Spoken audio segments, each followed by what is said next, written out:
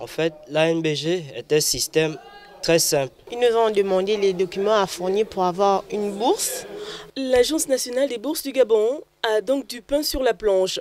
Sa mission ici dans le Haut-Ogooué, comme dans les autres provinces, est d'édifier les élèves en classe de terminale sur la procédure de demande de bourse et les différentes catégories de bourses existantes. Nous avons la bourse classique qui, regroupe l'ensemble des bourses accordées aux étudiants du premier cycle. Après, nous avons des particularités, notamment la bourse de mérite qui est accordée aux, aux bacheliers ayant obtenu une moyenne supérieure ou égale à 12. Ensuite, nous avons la bourse d'honneur. L'honneur est accordé aux aux bacheliers qui ont eu, obtenu leur baccalauréat avec une moyenne supérieure ou égale à 14. euh, nous avons aussi une particularité, c'est qu'on a une, les bourses aussi sont accordées aux personnes euh, vivant avec un handicap.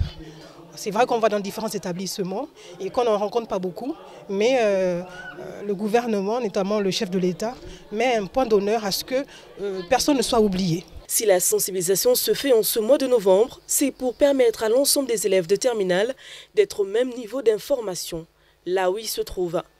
Au moment fixé par l'Agence nationale des bourses du Gabon, seuls les admis au baccalauréat pourront être éligibles à la demande de bourse. Alors c'est après la délibération du bac, mais en général on communique. On envoie un communiqué de, de presse et aussi on, on, on le diffuse sur l'ensemble de notre plateforme digitale. Du lycée Eugène Marcel Amogo de Franceville au lycée Bruno Bokoko de Mounana, l'ANBG intensifie sa communication pour faciliter la tâche aux élèves concernés.